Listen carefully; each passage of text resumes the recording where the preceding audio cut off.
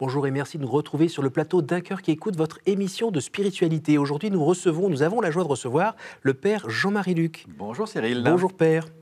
Alors, euh, comme on peut le voir sur, euh, votre, euh, avec votre vêtement, vous êtes frère de la communauté Eh Saint-Jean. oui, comme Voilà. vous alors, quand vous avez entendu cet appel à, à la vie religieuse, vous avez dit non, et puis OK pour une vocation folle qui me rende heureux. Ouais, ça c'est sûr. Alors aujourd'hui, vous avez 46 ans, vous êtes donc religieux, prêtre, éducateur et producteur de spectacles avec Saint Jean Révélateur. Vous allez nous parler de tout ça, mais juste avant, alors au lieu de vous écouter nous lire un texte, Ouais, pas de texte. on va écouter quelque chose. Ah ah. prêtre à tout, à tout va, prêtre-moi, etc. Car le prêtre à toute heure, c'est le prêtre, moi ton cœur. Prêtre à tout, à tout va, prêtre-moi, etc.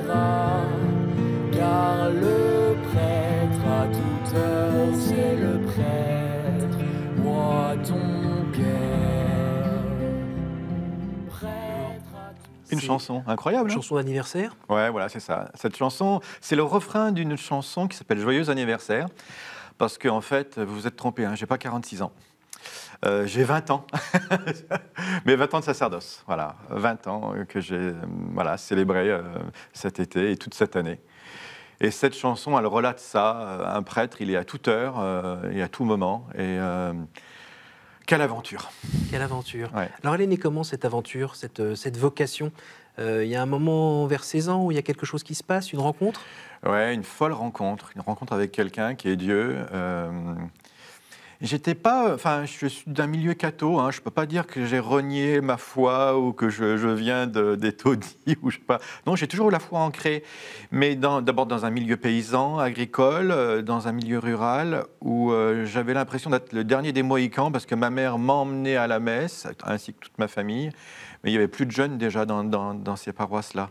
Mais elle m'a transmis, elle m'a transmis la foi, ça c'est sûr. Mais je croyais être le dernier. Et euh, le collège passe par là, et puis euh, patatras, un peu de perte de foi. Je, je garde mon dernier lien avec l'Église, c'est la messe dominicale. Euh, Il y avait un deal avec ma mère, argent de poche. Tant que tu seras à la maison, puis de toute façon, tu es trop jeune pour décider. tu- Mais le reste, plus d'aumônerie, plus rien. J'étais très loin, en fait, j'étais hyper loin de l'Église. Vous étiez du côté de Roanne? Ouais, c'est ça, dans la Loire. Euh, dans mon petit village de Pradine, là, c'est milieu pri- privilégié quand même et protégé. Mais je, commence à perdre pied, je m'éloigne de, l'église. Du moins, je ne sais pas très bien ce que c'est que l'église.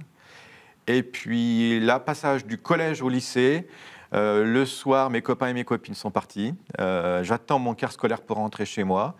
Je suis à l'abribus. J'ai 16 ans, donc je suis en seconde. Euh, je vis à fond comme on peut être à, à 16 ans. Je suis vraiment un peu un leader, j'aime mener mes, mes gens. Et puis là, j'ai plus rien à faire brusquement. Et en face de moi, une église. Je suis quand même catholique. Je sais que quand on rentre dans une église, ce qu'il y a, euh, la petite lumière rouge, patati patata, je me dis, allez, je vais prier. Mais acte euh, volontaire, euh, prière personnelle. Et ce jour-là, ce soir-là, je rentre dans l'église, l'église Saint-Louis de, de, de Roanne, et une église extrêmement noire, sombre, lugubre à l'extérieur. et j'entre dans l'église, et là, ah ben, j'y vois rien. C'est aussi lugubre à l'extérieur qu'à l'intérieur, mais je file à la petite lumière rouge et je me mets devant le, le Christ.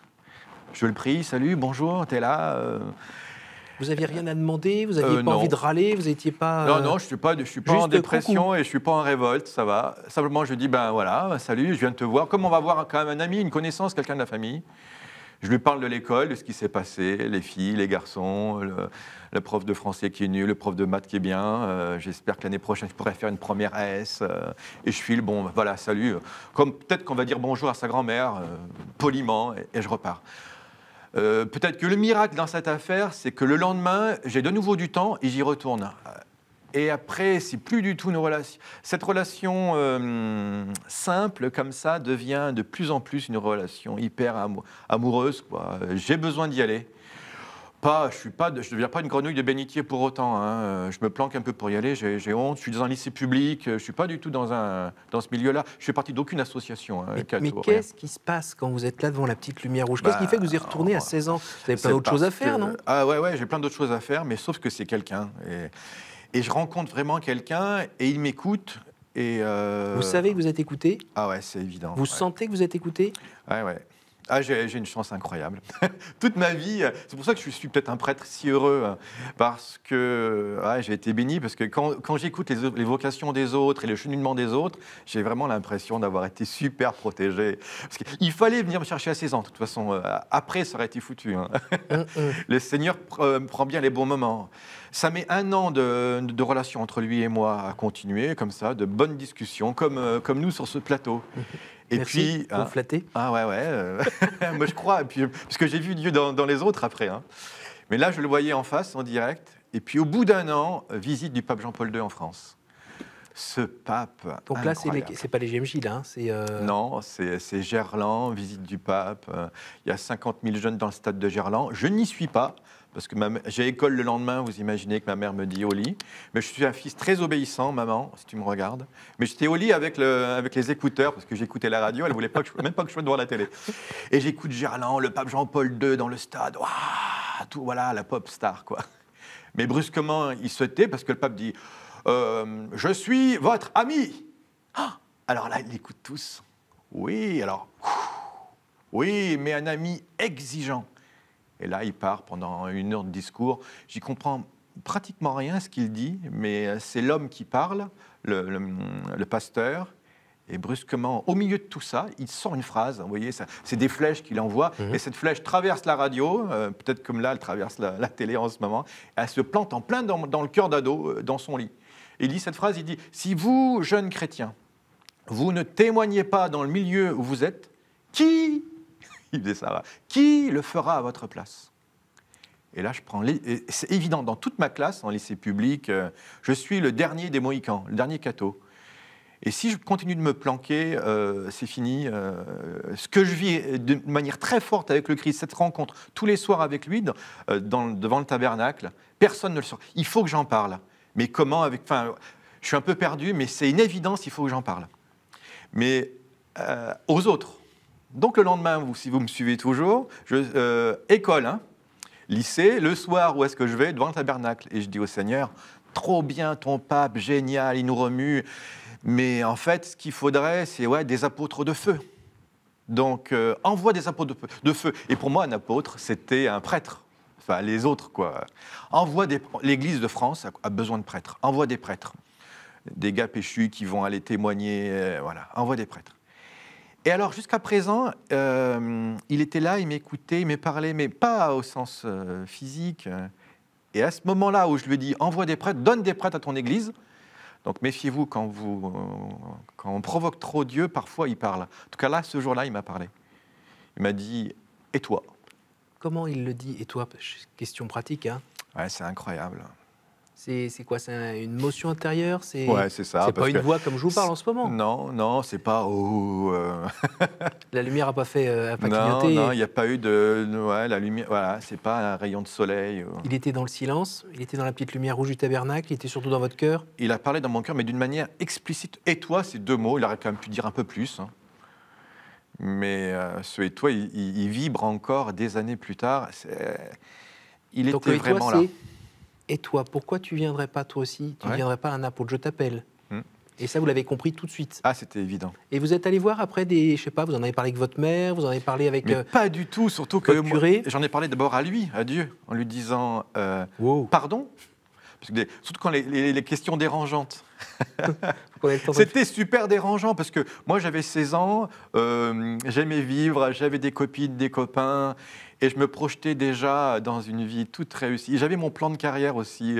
Je voulais changer le monde. Mais je- ça, de vouloir changer le monde, euh, je l'avais depuis longtemps. Alors du coup, je voulais être homme politique, euh, bref, euh, 16 ans. Et là, c'était, je lui dis, mais pardon, non, c'est pas, c'est, non, il y a une erreur de, peut-être que ça peut arriver d'ailleurs. euh, Dieu, il est grand, il peut peut-être se planter. Non, tu peux pas m'appeler à devenir prêtre. Enfin, alors je- je- j'ai fui en disant, non, non, merci, euh, ça va. Mais c'était le côté j'ai autre chose à faire ou bien je suis pas. euh, Je pourrais pas le faire parce Mais que je j'ai pas qu'il y avait une erreur de casting terrible. Euh, J'étais pas programmé pour ça. Je me voyais. J'avais aucun prêtre dans ma famille. Euh, je n'en connaissais pas vraiment particulièrement. Ça faisait pas très envie prêtre, non plus Mais non, c'est pas super cool d'être prêtre. euh, dans l'imaginaire d'un ado, enfin, c'était pas. Et que Dieu me le demande, mais c'était incroyable. J'étais pas fait pour ça, t'entends? Sauf s'il est Dieu, mais il était Dieu. Sauf s'il s'est trompé. Enfin bref, euh, dans des cas comme ça, on se tire et on se dit, euh, il va penser à autre chose, mais il pense pas à autre chose. Et quand tu reviens, tu parles de tout le lendemain. J'ai mis trois jours, je crois. J'ai craqué. Et j'ai craqué en lui disant, alors ça ne le faites pas, euh, c'est pour, pour prévenir les gens. hein. Oui, oui. Sauf si euh, vous voulez que votre vie soit géniale à ce moment-là. Mais les bras de fer avec Dieu, il est plus fort que nous. hein. Et, et là, et moi, je me suis mis à jouer au, au tennis avec lui. J'ai renvoyé la balle, mais il la renvoie de plus en plus fort. On se prend vite au jeu. Alors je lui ai dit, OK, je veux bien, si jamais tu t'es pas trompé dans ta demande, je veux bien être prêtre. Mais tu as vu ce que tu me demandes, les renoncements aussi. et- Alors, Donc, Tu mets quoi dans la balance hein voilà. Et donc là, il faut charger. Euh, je suis prêt. Moi, ok, je donne. C'est une sorte de, de- Je veux bien. Commerçant. Mais alors, euh, alors moi, j'ai chargé à excès, quoi. Parce que je croyais qu'il n'était pas capable de le faire. Et c'est quoi dit- alors dans la balance? Alors j'ai mis, je veux que ce soit, je veux bien être prêtre, ok, mais une seule condition, enfin mes conditions sont les suivantes en tout cas, c'est, je veux que ça soit à toute vitesse, à fond, que je n'ai jamais à le regretter. Après, hum, euh, d'abord parce que je veux être heureux. Et je ne pensais pas qu'un prêtre pouvait être heureux sur cette terre. Donc je veux être heureux dès maintenant. Heureux au ciel, hein, cool. Mais je veux être heureux dès maintenant. Et euh, pas cap, quoi. Vas-y, euh, vas-y. Et alors il avait ça en, il avait ça en, en- ouais, en réserve pour moi. Apparemment, oui. Ouais, c'est fou. Et alors, c'est pas du tout une vie conventionnelle. Je pensais que j'ai toujours su que j'allais pas avoir une vie comme les autres. C'était peut-être ça que j'a- j'avais la vocation depuis longtemps. Après, Dieu m'appelle, mais je crois pas que je suis un prêtre. Même, même prêtre, en fait, je suis même pas un prêtre comme les autres. Même encore maintenant. Ça dure depuis 20 ans, prêtre à, tout- à toute heure. On vient de l'entendre dans, le- dans cette chanson. Alors déjà, Euh, ouais, c'est incroyable. on, on voit vos amis, je l'ai dit au départ. Ouais, je suis Pourquoi vous êtes de rentré euh, dans la communauté Saint-Jean, par exemple? J'étais un peu perdu, je savais pas où il fallait que j'aille. Prêtre, religieux, enfin d'abord j'avais la vocation, mais est-ce qu'il fallait être prêtre? Euh, euh, Prêtre diocésain ou... Ouais, enfin j'étais ouvert à tout et je connais, j'y connaissais rien. Donc là, c'est à nouveau une histoire de rencontre? Exactement. euh, d'abord, euh, quand vous portez la vocation, c'est tellement lourd. euh, il faut le confier à quelqu'un. La première personne à qui je l'ai confié, ça a duré quand même deux mois, trois mois de prière silencieuse. Je croyais être le seul à être appelé par Dieu. hein, euh, et même limite que enfin, je pouvais être malade. Enfin, euh, C'était pas simple. J'avais pas de père spirituel. euh, Votre mère, on parlait ma pas de ça mère- avec elle voilà. Donc c'est la personne la plus chrétienne que je connaissais et qui était sur ma route. On est un 8 décembre, je suis dans le diocèse de Lyon, on met des petites bougies sur le bord de la, de la fenêtre, c'est magnifique. On allume les bougies et, là je lui dis, euh, on prie avec ma mère. Je lui dis, ah j'ai quelque chose à te dire. Ah ouais, quoi? Donc euh, ouais, c'est un an plus tard, donc j'ai 17 ans là. L'ado que je suis un peu grandi et confie à sa mère le fait que je crois que je suis appelé par Dieu. J'ai la, la vocation. Ça y est, je, je lui ai dit. Comment elle va réagir? Et alors j'ai une maman sensationnelle. Et qui réagit, non pas, elle ne me dit pas, quoi Euh, euh, euh, Un fils prêtre? Non, finis tes études, je veux que tu, sois médecin ou que tu travailles comme tout le monde. Il est hors de question. parce que je suis qu'en première à ce moment-là. hein. Et, ou inversement, le, ah mon Dieu, qu'est-ce que c'est beau, un fils prêtre dans la famille, gna gna gna, le truc religieux. Non, non, les deux m'auraient fait peur de toute façon. Et puis, elle réagit comme une maman chrétienne. Elle me dit, ah ouais, eh bien, je vais prier pour toi. Tes frères- ton frère, ta sœur prennent des, des options fortes en ce moment, ils choisissent. Et toi, visiblement, elle reçoit l'appel de Dieu qui passe, enfin, de son fils. Elle, le et de nouveau, elle, elle m'accouche, quoi. Enfin, c'est quand même Mhm. hallucinant d'être une maman de prêtre. hein. Mhm. Elle l'est toujours d'ailleurs. Et qui est prête à, à donner son fils. Elle le sera d'ailleurs pour l'éternité. Et puis hein. qui est prête à, à rayer aussi sur euh, des Ouais, choses les- comme être grand-mère. euh, Ouais, de- il y a de aussi, vos enfants, ces choses-là. un coup de poignard dans le cœur aussi. Mhm. C'est quand même une, une offrande, hein, Oui. une douleur. mais aussi, ouais, c'est une offrande. Elle offre son fils. Et, et moi, de savoir que, que ma mère est, est là et qu'elle offre, qu'elle va, qu'elle va aussi me porter dans, le, dans la prière, c'est un réconfort incroyable. Et Dieu passe par elle, parce qu'elle me dit, ça, il faut quand même en parler à un prêtre, justement. Et il euh, faut aller voir euh, un prêtre diocésain ou ton curé de paroisse. euh, et on a la chance d'avoir les, les frères de Saint-Jean qui, sont, qui se sont installés à Saint-Jodard, pas très loin de, de chez nous. Et euh, je vais voir, et là, je vais me confesser à un prêtre. Je lui dis, euh, et il me dit, fais donc ta retraite. et après, tout s'enchaîne. Et, et- et le Seigneur a tout mis très rapidement. À 17 ans, je fais une, première, je fais une retraite avec le Père Marie-Dominique Philippe. Je sais que je vais être frère de Saint-Jean parce que c'est exactement tout ce dont j'ai besoin. Euh, Il y a tout. euh, euh, ah, Alors, il y a je, quoi je suis béni. Quoi. Il y a la vie, il y a la jeunesse, il y a l'enthousiasme, il y a le- les formes un peu différentes. Non, non, il y a, il y a, euh, il y a, euh, quand je rentre dans ce monastère, il y a un grand portrait du pape Jean-Paul II. Bon. Ça, euh, c'est bon signe, ça c'est fait. Après, il y a la Vierge Marie, pas très loin. Je suis à 100 Si je m'appelle Jean-Marie Luc et si j'ai mis Marie au cœur de mon nom, c'est pas pour rien, c'est elle, la vocation. Et après, il y a l'adoration eucharistique. Donc, pas, pas uniquement que Jésus fermé dans le tabernacle, mais on l'ouvre et ça- ce cœur à cœur avec Jésus. Et puis après, alors cerise sur le gâteau, déjà c'était suffisant. hein. Euh, mais après, il y a toute la formation de l'intelligence. Mon intelligence peut adhérer à ce, à quoi mon cœur croit, adhère, mon intelligence peut, peut- peut y adhérer. Et ça, ça offre une liberté et euh, c'est vraiment l'aventure. L'aventure, elle est là. J'ai pas eu besoin de prendre mon sac à dos, de partir sur la cordillère des Andes ou à l'Amazonie ou que j'avais soif d'aventure. J'ai vu, j'ai vu tout de suite là plus que la- l'aventure, mais elle était mais énorme, immense. L'aventure intérieure? Ah oui, elle est là. euh, moi, je voulais être un aventurier. Le Seigneur me demandait de partir à l'aventure. Elle était là, l'aventure. Alors au début, ça commence par euh, six ans de formation quand même. Fermé dans un monastère à, à 19 ans, enfin, c'est quand même c'est une folie. Si t'es pas aventurier, tu n'y restes pas. hein. Mais quelle aventure Alors, cette aventure-là, on la voit de- depuis 20 ans. Mm. Euh, ça fait 20 ans que, là, on l'entend d'ailleurs, euh, quand vous parlez, vous, vous avez un talent de conteur. Euh, et ce talent de conteur, finalement, il on, on le voit dans les spectacles que vous produisez maintenant depuis quelques années? Ah oui, il y a une particularité chez moi, c'est qu'il y a une vocation dans la vocation. Euh, J'aurais pu rester frère de Saint-Jean, et je le suis toujours, Oui. prêtre et, et curé de paroisse, parce que quand on est frère, on peut être euh, aumônier de, de tout et de n'importe quoi, curé de, curé de paroisse, mais aussi aumônier de prison. Mais moi, Là, on repère deux choses, le spectacle ouais, et la jeunesse. ouais. je suis d'abord éducateur de jeunes. Euh, parce que j'ai passé mon BAFA, mon BFD, je monte des camps, on m'envoie auprès des jeunes. Et très rapidement, mais euh, je m'aperçois que euh, là encore, le, Seigneur est là sur mon chemin, changement à, à- à- à 180 degrés. Je suis envoyé sur un camp artistique. Moi qui suis du monde paysan, agricole, les artistes, je n'y connais rien. Enfin, c'est des gens un peu bizarres. C'est pas du tout mon milieu. Et je débarque là-dedans, je découvre le monde artistique et le lien entre l'artistique et l'éducatif. Alors ça, c'est Saint-Jean Révélateur, Ouais, c'est ça. ça, dans ouais. lequel vous œuvrez depuis maintenant quelques années aussi. Mm. Euh, Dites-nous, quel regard vous portez sur, euh, sur la jeunesse aujourd'hui, celle qui vient notamment vous voir Euh, J'imagine que c'est un regard plein d'espérance. Ah oui, parce que les jeunes sont pleins d'espérance, pleins de, plein de vie, et ils me forcent à rester jeune avec eux. Si on les aime, euh, pff, que- ouais, si on les aime, eh bien, euh, on aime ce qu'ils aiment d'abord, avant de les juger, et ils vivent dans un monde qui n'est pas facile. Et puis après, euh, on les écoute, et puis on les nourrit, parce qu'ils sont un peu perdus. Est-ce que votre foi personnelle a grandi à leur contact?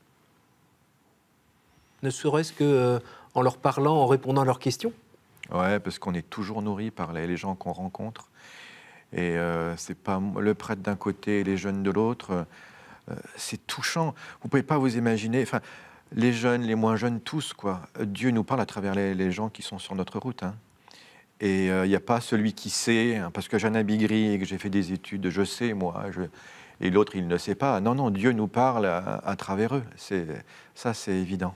Votre façon de, de prier, votre façon de contempler, euh, quand vous étiez le, le petit gamin là, de 16 ans de- devant le tabernacle, aujourd'hui, il a grandi ce gamin, est-ce qu'il Mm. prie différemment? Ouais, ouais. J'ai grandi dans ma foi et donc plus on avance euh, dans la foi, moins on y voit quelque chose. hein. On- ça, c'est bienvenu au club, hein, ça c'est sûr. Euh, plus on est, euh, plus c'est la foi nue euh, et le cœur à cœur qui au début qui est plein de plein de sensibilité, après est appauvri et on va à l'essentiel, évidemment. Alors, si- Aujourd'hui, s'il fallait dire en deux mots l'essentiel, c'est quoi? C'est qui? C'est comment Euh, c'est quelqu'un. Et je m'accroche à ce quelqu'un, et c'est lui, euh, Dieu, qui, qui remplit toute ma vie. Et en même temps, il m'a tellement donné comme euh, quand j'étais ado, vous voyez, Dieu, enfin, c'est ça qui, moi, qui me touche. Dieu n'a pas peur des ados. Regardez avec la Vierge Marie. Quel âge elle a lorsque il envoie un, Gabriel lui dire qu'elle sera mère du Sauveur a 15, 16, 17 ans? Mhm. Dieu les prend extrêmement au sérieux. Moi, il m'a pris au sérieux à 16, 17 ans. Et les ados, aujourd'hui, on ne les prend pas au sérieux. On leur donne des trucs, on dit voilà, t'es jeune, débrouille-toi. Enfin, en même temps, de nous, enfin, on, a, peur de, on a peur de l'adolescence. hein. Et si Dieu, mais Dieu n'a pas peur des ados. Donc moi, je ne veux pas avoir peur des ados et je les accueille tels qu'ils sont et je leur fais confiance et je leur donne tout de suite des responsabilités. C'est ça ma manière de, les appréhender. Et Alors, chez Révélateur, c'est ça. Voilà, et vous faites notamment des camps pendant l'été pour euh, répéter euh, des spectacles sur lesquels vous avez Voilà. travaillé, vous côtoyez des saints. Mm. Là, notamment, vous avez travaillé cet été sur Louise Élie Martin. Ouais, voilà. Si vous voulez, on va regarder un extrait de, Ouais. du spectacle. On y va. Louise. Élie Martin. Nos cadrans nous regardent impassibles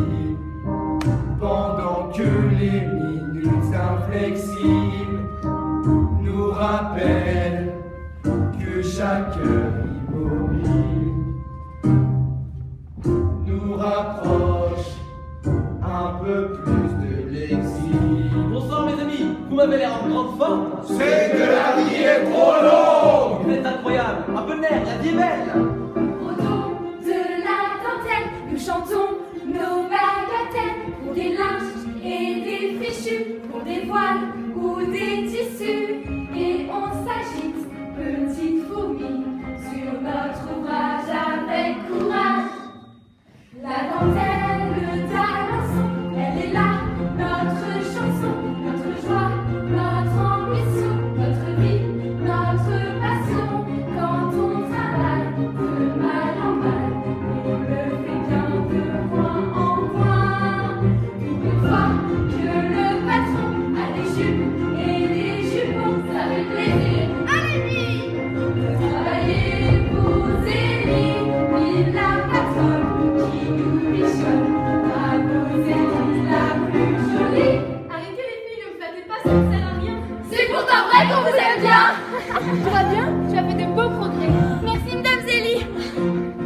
c'est sympathique, ça bouge. Ah ouais, ouais, ça c'est la comédie musicale. C'est un mode vraiment particulier. Hein. Euh, je ne suis pas arrivé tout de suite à la comédie musicale. J'ai commencé par des, par des sons et lumières. Mais très vite, j'ai voulu prendre un mode euh, ben, grand public où on danse, on chante, euh, mais tout en restant en même temps 100% catho et aussi euh, en, développant un vrai message. Alors, le, ça commence, je crois, en région parisienne autour du 11 novembre. Je, ouais. Votre mission aujourd'hui, elle est d'annoncer la bonne nouvelle avec les jeunes, Ouais. et puis par le spectacle, une sorte de pastoral du spectacle, on peut dire ça? Oui, c'est ça. Moi, je suis un conteur, hein, enfin un prêcheur, euh, comme euh, tous les prêtres et, et religieux. Alors, on peut faire ça dans une église, dans une grande chaire. Moi, ma mission, elle est un peu particulière. hein, euh, c'est de l'annoncer en montant des spectacles, en racontant la vie, et, et tout spécialement la vie des saints. Parce que les saints, la vie des saints, c'est euh, l'évangile digéré, quoi. L'évangile pour les nuls. Euh, je sais pas comment. Enfin, depuis, depuis 2000 ans, l'Église se plaît à évangéliser euh, aussi en racontant des histoires. Je trouve ça vraiment, c'est vraiment passionnant, quoi, la vie des saints. Et là, en ce moment, je suis sur un Saint Jérôme, mais je me suis aperçu que Saint Odon, qui est un grand saint, a euh, raconté la vie de, Saint Jérôme, par exemple. Donc ça montre bien que euh, eh ben, on peut même se convertir en racontant la vie d'autres saints. Et euh, l'Église a, deux trésors. hein. D'un côté, la parole de Dieu, mais aussi après toute la tradition. On n'a pas que la parole de Dieu, nous, catholiques. Toute cette belle et grande tradition de la, foi, c'est rien d'autre que la parole de Dieu lue, moulinée dans le cœur des saints et qui nous est redonnée. Et la vie des saints, ce n'est rien d'autre que regarder sa marche. Alors, Ah. pour, pour en, pour en savoir plus, évidemment, on invite chacun à aller voir le spectacle, forcément. Ouais, Louise, libre. Euh, voilà, Ouais. on invite aussi à aller, voir, aller sur le site euh, www.révélateur.org, Ouais. notamment pour les camps d'été euh, Ouais. pour la musique.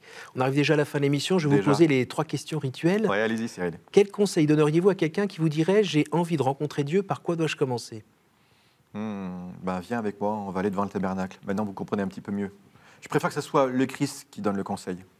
Ça, c'est sûr. Quel est votre héros, votre saint, la personne que vous trouvez admirable? J'en ai monté plein de ça en ce moment. Sur, euh, vous allez me dire, c'est Louise, Justin, Elie. Mais non. Mais euh, celle qui est vraiment toute proche, elle n'est pas encore sainte, elle n'a pas encore le label. Elle s'appelle Claire de Castelbajac. Mais son procès est en cours, rassurez-vous. Bon. Et dans quelques années, on verra peut-être un spectacle sur elle. Je l'ai déjà fait. Ah, J'ai pas pu m'empêcher. Elle est géniale, Claire de Castelbajac. Au jour du jugement, qu'aimeriez-vous que Dieu vous dise, Père? Ouais, alors j'y pense à votre question, ça me trotte dans la tête. Je pensais vous sortir un grand truc super bien, euh, mais je crois qu'il va pas me dire quelque chose. Ou bien si ce quelque chose, il y aura dedans fils bien-aimé, il y aura quelque chose de Saint-Jean, sans doute, mais surtout il va dire ah, viens, viens, viens là, euh, viens sur mon cœur. Parce que c'est surtout là que j'ai envie d'être et c'est surtout là que je crois qu'il veut que je sois. Donc ça sera plutôt un geste. Il va me dire allez, viens. C'est là. euh, et ça va être délicieux. Merci Père, merci beaucoup d'être venu nous Merci, partager euh, cette joie qu'on voit avec euh, les images du spectacle et puis votre joie d'être prêtre. Qui, euh, il est, on est heureux de la partager avec vous. Et puis merci à vous tous pour votre fidélité à ce rendez-vous. Vous pouvez évi- évidemment revoir cette émission sur www.ktotv.com. À la semaine prochaine.